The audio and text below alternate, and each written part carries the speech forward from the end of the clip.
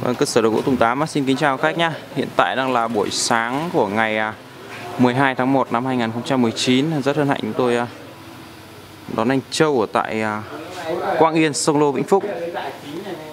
Anh về ký duyệt bộ sập gỗ 1m8 x 2m2 bằng chất liệu gỗ gỗ.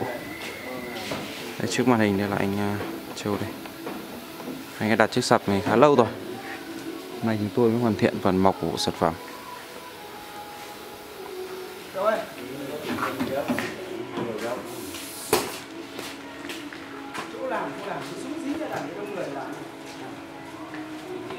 phần dạ được đục chạm rất là sắc nét quý vị.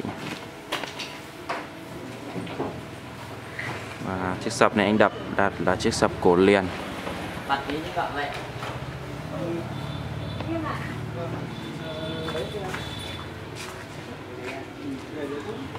Rồi rồi cái này nhấc được mà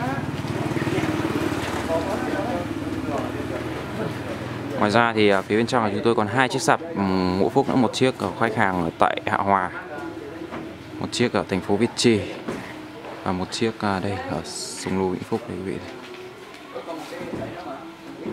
ký cái mặt cho em. Em kia cái này còn cái này nữa mà. Cái thôi để để con đấy đây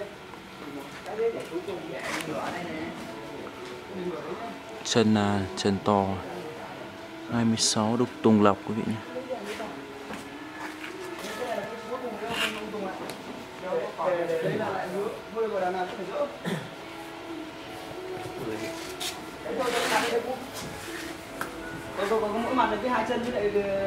Mọi người có nhu cầu có liên hệ tới xưởng là đồ gỗ Tùng 8 nhé, theo số điện thoại là 0987 51086 cơ sở địa chỉ tại à, Văn khúc Cẩm Khê Phú Thọ nhé Hôm nay là ngày 12 tháng 1 năm 2019 Đây.